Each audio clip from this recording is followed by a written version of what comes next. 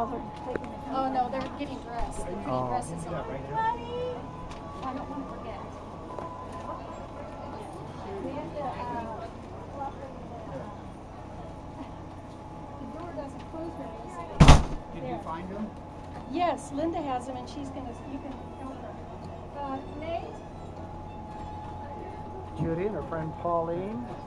Leonard, of course. Strangers.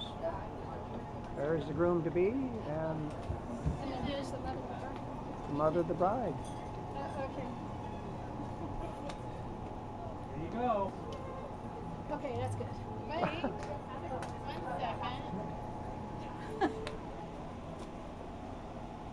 Very Oh my God, nervous. Judy. It's all going to be r- running smooth as a, a Swiss Yeah. watch. Yeah. Tick, tick, tick, You know